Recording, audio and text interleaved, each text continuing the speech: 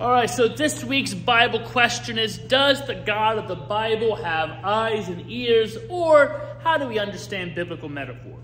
Last week, as we were talking about do we interpret the Bible literally, we talked about metaphors a bit. Words, images drawn from everyday life that describe less familiar elements. So, this lesson continues the discussion with particular attention to metaphors for God.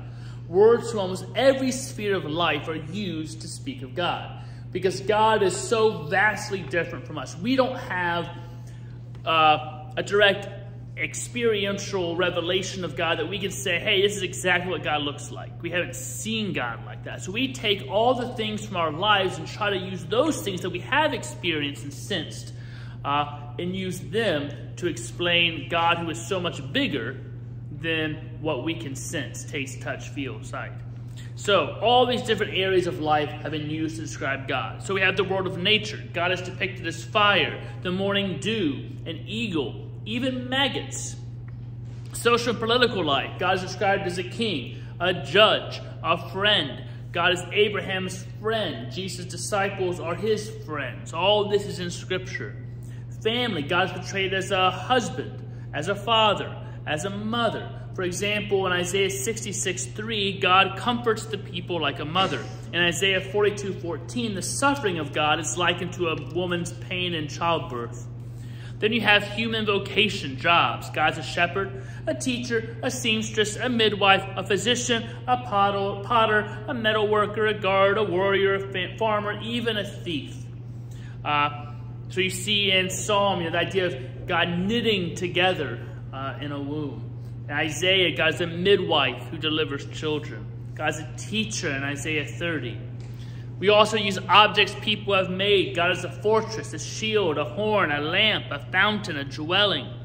In Psalm 119, God is my hiding place and my shield. God is a sun and a shield. He bestows favor and honor. In these cases, an object which has no life is used to speak of a living and active God in relationship.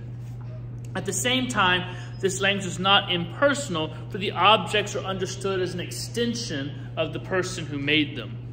Then you have the human body, mind, emotions with associated activities. Images of God from this category are really common. God speaks, acts, makes, thinks, plans, grieves, is angry, rejoices, changes God's mind, is jealous, even whistles.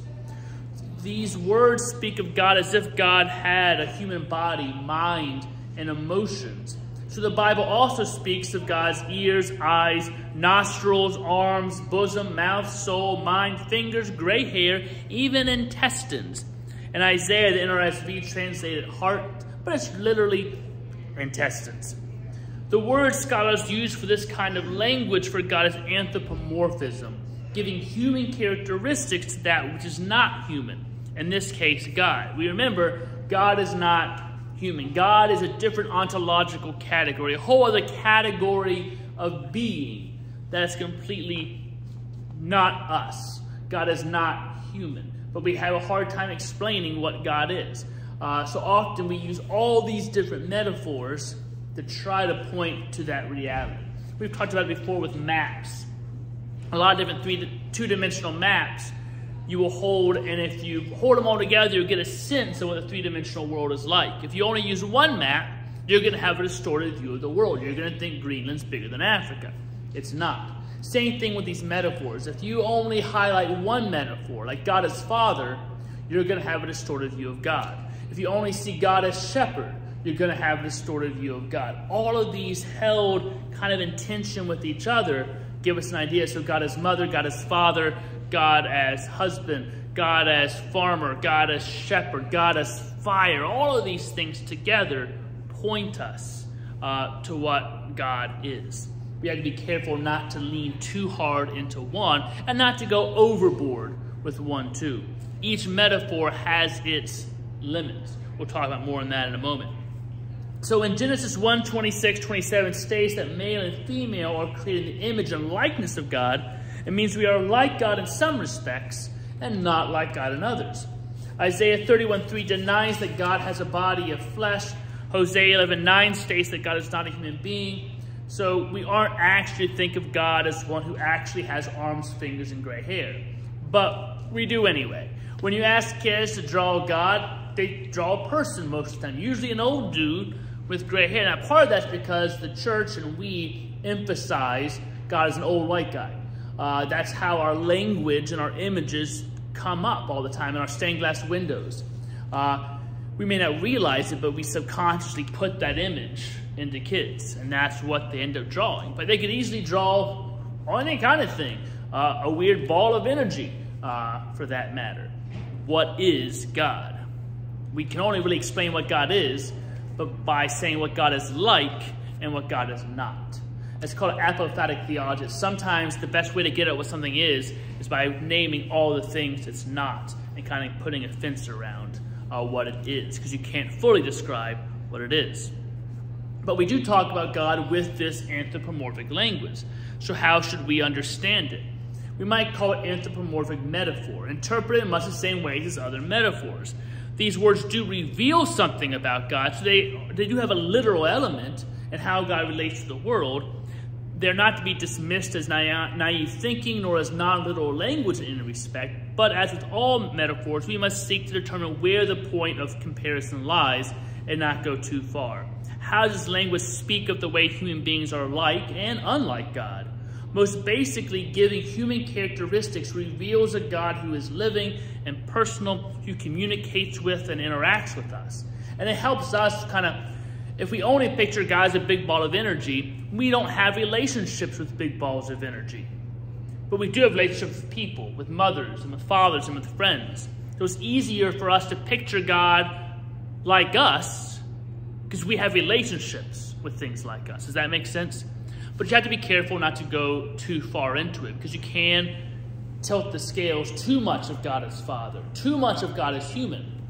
A philosopher named Ludwig von Feuerbach made the argument that God isn't real. All it is is we take what we like about humanity and just make it exponentially bigger and say, boom, that's God. And there are all kind of interesting historical things that come from that. Uh, Karl Marx, Hitler all kind of read Feuerbach and used some of those ideas in their later thinking. But sometimes we do that. We don't even realize it, but we just kind of make God the better human. And that's where the danger of the metaphors lies. We have to sometimes pick the other metaphors too. The all-consuming fire, uh, the pillar of night, uh, pillar cloud by day, these other natural things too. If you've read C.S. Lewis's Chronicles of Narnia, you know, a lot of people talk about how the Lion, the Witch, and the Wardrobe is an allegory for the Bible. It's not. Uh, we want to make things have these one-on-one -on -one comparisons. But that's where you get into danger with metaphors and things. What Lewis did was kind of say, knowing what I know about God, if a world like Narnia existed, how might the God I know interact with that world? So it's based on knowledge of God and how God acts in this world to imagine how God might act and do and provide salvation in a world like Narnia. But it's not meant to be Aslan equals Jesus in these things. Then you get too close. Allegories end up becoming trying to get too close to things. If they're not a true allegory, it distorts it.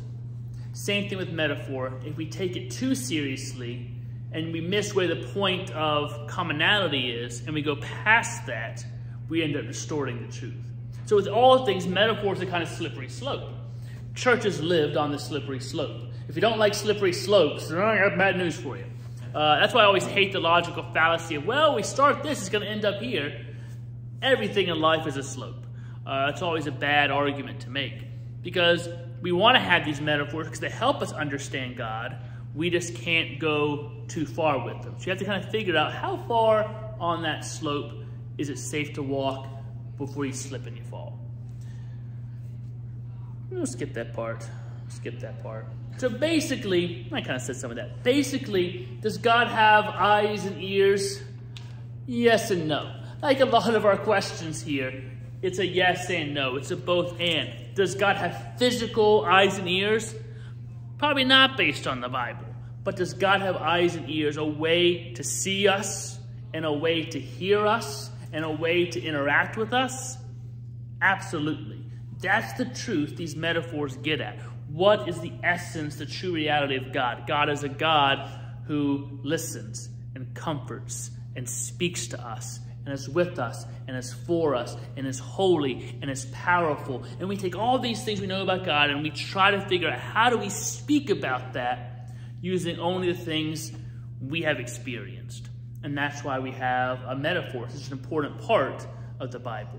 But we have to always remember what metaphor is, how far it goes, and how far it doesn't. Questions, comments, snide remarks. All right, I will see you next week.